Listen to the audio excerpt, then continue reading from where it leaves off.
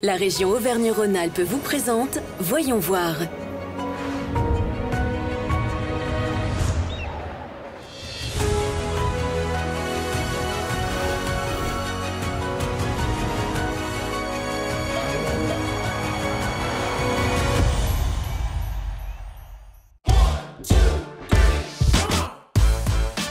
Pour ce premier numéro de la saison, Voyons voir vous emmène à la découverte de WorldSkills, la compétition nationale des métiers qui s'est déroulée cette année à Lyon Eurexpo du 14 au 16 septembre.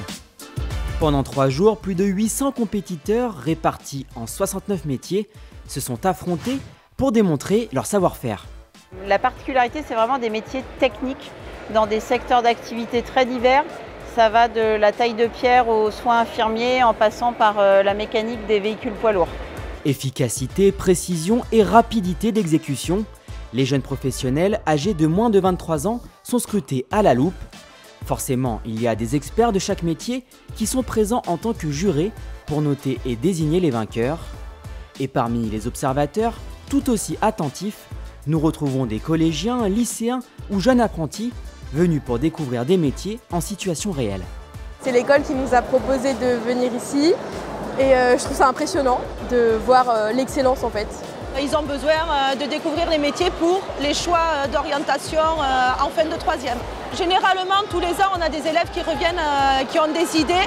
Et donc, ça nous permet après, avec eux, de travailler, de, faire des stages supplémentaires et de les aiguiller sur les établissements de la région, les lycées pro et les CFA.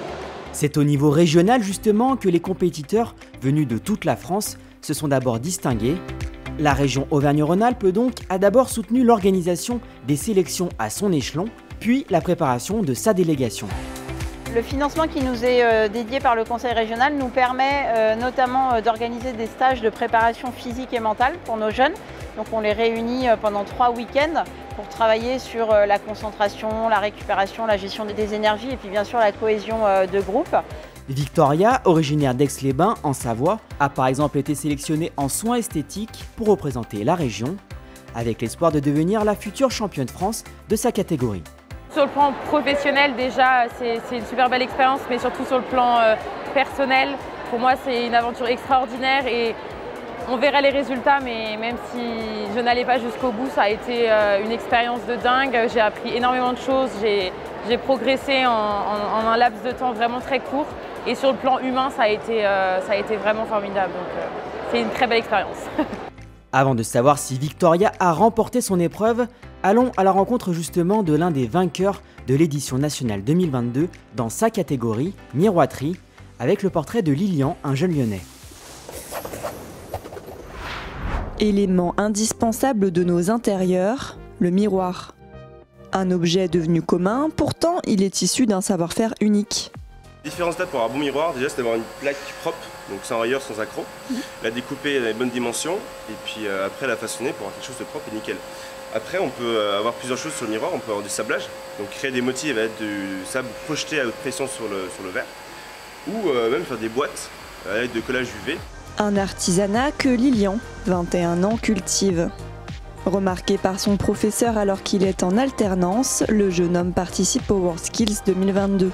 C'est un pur hasard, c'est mon prof qui m'a inscrit en fait. Il a, vu que j'avais un plutôt bon niveau euh, en miroiterie, du coup bah, il m'a dit bah, participe. Pour ma partie nationale, en fait, on avait un sujet qui était imposé.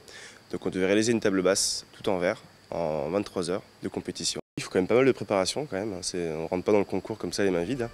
Une préparation qui paye. Le miroitier arrive premier de sa catégorie lors du concours national. Aujourd'hui salarié d'une maison de miroiterie lyonnaise, il mesure ce que lui a apporté la compétition. On gagne beaucoup d'expérience en peu de temps. Euh, des rencontres euh, formidables, hein, les de France, des patrons, c'est vraiment intéressant. Et puis bah, de la confiance aussi, voilà. du coup, on me fait confiance sur mon, savoir-faire, donc c'est intéressant. Actuellement en préparation pour la compétition européenne, le miroitier fait déjà la fierté de son employeur c'est ces heures et ces heures de travail qui ont fait qu'il ait été premier. Et je pense que nous, en tant que chefs d'entreprise qui avons suivi ces préparations, euh, c'est une vraie fierté pour, euh, pour nous et on est vraiment fiers de lui euh, là-dessus.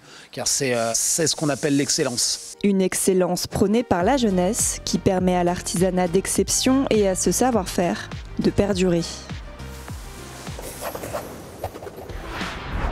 Retour à Eurexpo Lyon où Victoria poursuit ses épreuves en catégorie soins esthétiques. La jeune Savoyarde termine ce matin sur le maquillage beauté. Fière de son métier, elle est également heureuse d'être ambassadrice de sa région.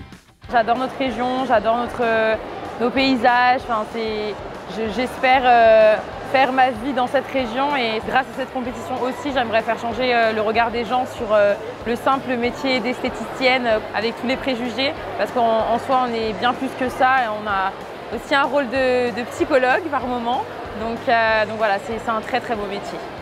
Dans un tout autre domaine, un autre jeune de la région est lui aussi très heureux d'avoir trouvé sa voie.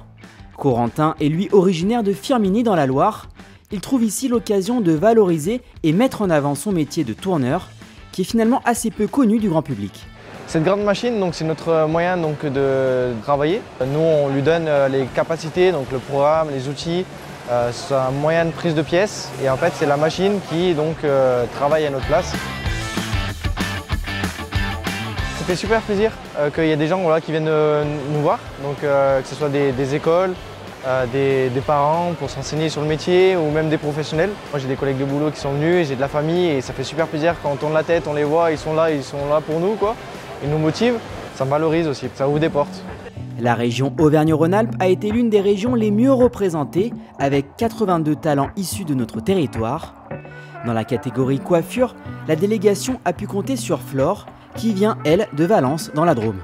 J'ai commencé à l'âge de 15 ans la coiffure en sortant de troisième. J'ai fait un CAP et un BP. Et là, je suis en train de finir de valider mon brevet de maîtrise. Pour moi, c'est vraiment une vocation, c'est une passion. Samedi soir, les résultats tombent enfin. Flore ne termine finalement pas sur le podium, mais hérite d'une médaille honorifique d'excellence. Pour sa maman, évidemment, l'essentiel était ailleurs. Je trouve que ce qu'elle a fait, c'est vraiment très beau, mais c'est beaucoup de stress à la regarder, à la voir réaliser justement ce, chignon. Voilà, ce qu'on lui dit, c'est que la plus belle des médailles, c'est sa passion avant tout. Pas de podium non plus pour Victoria en soins esthétiques.